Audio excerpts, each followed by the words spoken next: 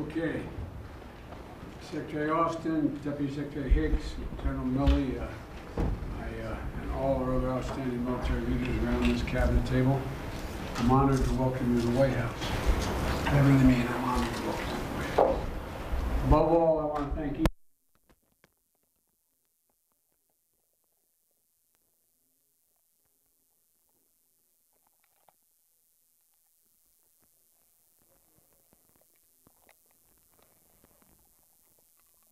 first time in the proud history of the armed forces, we not only have highly, highly qualified, highly, qualified women as vice president, but as deputy secretary of defense and two women combatant commanders.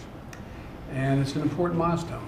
I think that speaks to uh, how we're harnessing the strength and diversity of our country and making sure women succeed in the military throughout their careers.